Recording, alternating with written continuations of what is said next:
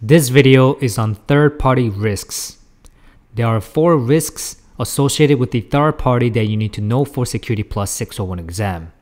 First, we have vendor management. With vendor management, there are two concerns system integration and lack of vendor support.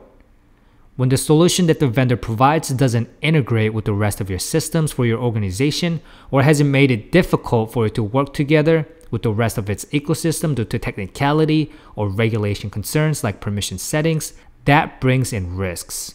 This is a big concern since solution is not part of the company, which means it's within its barriers.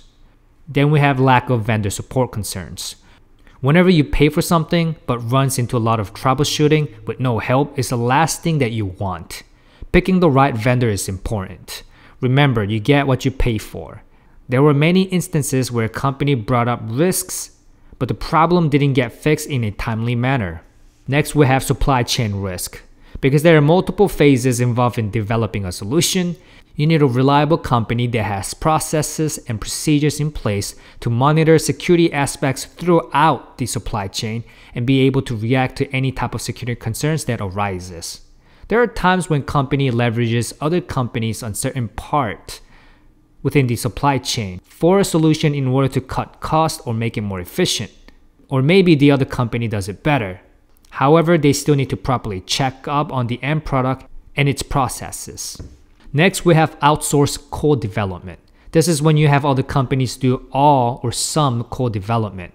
This needs to be checked frequently to ensure there's no security issues and should be isolated with VPN access in a lab-like environment. Because this is a code developed by a company that is not your own, it's worthwhile to check outsourcing code development guidelines and processes and make memorandum of agreement on how to press forward. Lastly, we have data storage. Thanks to cloud, we're saving information in separate third-party location. However, these data needs to be evaluated to ensure it's getting stored properly according to company guidelines. Data are segregated even in cloud depending on what type of data it is. There may be healthcare data or classified information that may be in public cloud when it shouldn't be. There needs to be proper security settings around the type of data that we're storing, and certain storage needs encrypted pathway as well.